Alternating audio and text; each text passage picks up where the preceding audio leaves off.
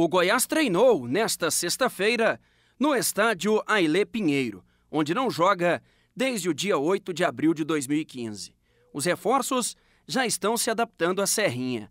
Na próxima quarta-feira já tem jogo contra a Aparecidense. Mas antes, o grande clássico.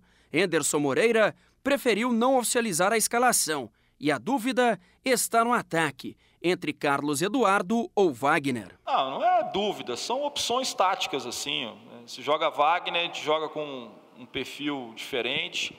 Se joga Carlos, é um pouco diferente. Não é, não é dúvida sobre qualidade do jogador, quem é que, que vai iniciar, é dúvida.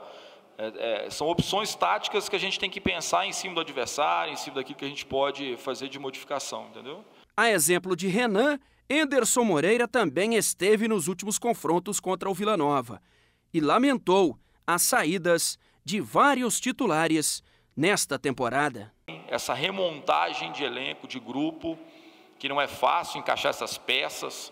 Quando você já tem uma base, você agregar um ou outro jogador fica muito mais tranquilo, muito mais rápido. Quando você remonta um time, como aconteceu agora com o Goiás, é muito mais difícil, né? E o último treinamento do Goiás, antes do clássico contra o Vila Nova, acontece na manhã deste sábado, aqui na Serrinha. E pela primeira vez nesta pré-temporada, liberado para a torcida. E como está a movimentação, o trabalho, o treinamento do adversário? Aí no Anésio Brasileiro Alvarenga, repórter Carlos Cubo. Olha, Humberto, essa semana a torcida não pôde acompanhar os treinamentos. Diretoria e comissão técnica decidiram juntas essa semana fechar os treinamentos, tanto para a imprensa quanto para a torcida. O zagueiro Vinícius Sima comentou sobre todo esse mistério. Isso ajuda bastante, as boladas paradas, as jogadas, as marcações, isso ajuda bastante. O time adversário não vê, chega na hora não sabe o que fazer, né? Mas isso é tanto lá quanto, quanto para cá.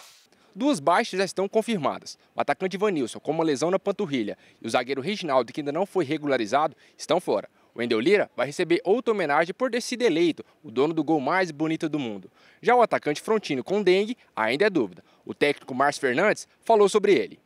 Olha, a gente conversou bastante com o Frontino, ainda temos mais amanhã para a gente é, saber a real condição dele. O Frontino é um jogador que é, dispensa comentários por tudo que ele representa para o nosso grupo e, e, consequentemente, é um jogador muito importante. A escalação ele não quis divulgar, então nos resta esperar o clássico entre Vila Nova e Goiás, domingo no Serra Dourada.